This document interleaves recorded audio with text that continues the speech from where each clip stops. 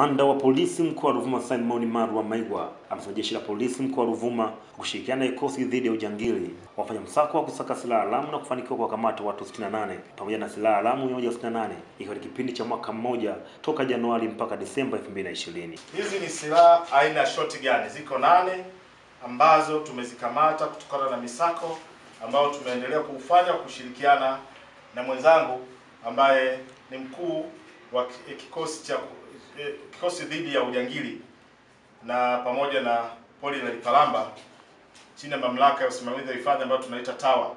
Kwa hiyo katika ushirikiano huu tumeweza kukamata hizi silaha aina shotgun lakini hii ni sehemu ya silaha 160 ambazo tumeshazikamata, na hapo tunaona kuna silaha zingine aina ya rifle. Hizi ni shotgun, hizi ni rifle, ni rifle ambazo sasa hivi kuna kariba ambayo mwananchi wa kawaida haruhusiwi kumiliki hizi silaha.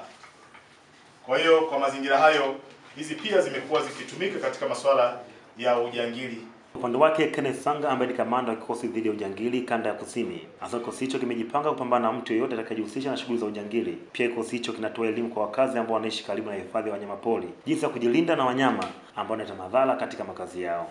Tunatoa elimu ya uhifadhi kwenye maeneo yote yanayozungukwa na hifadhi ili kupunguza madhara mbalimbali yanayoweza kutokana na wanyama waharibifu wanaoweza kutoka ndani ya hifadhi na kwenda kuvamia maeneo yao. Pia tunafanya doria za mara kwa mara tukishirikiana na askari wa kule vijijini wanaoitwa VGS, askari wa vijiji katika kulinda maeneo yale, na tumeweza kuokoa mashamba na, na, na vifo vingi visiweze kutokea kwa kufanya shughuli hizo za, za ulinzi pamoja na kutoa elimu kwa wananchi walioko maeneo yale. Kutoka Songea mkoa wa Ruvuma, Newton Endenda, EATV.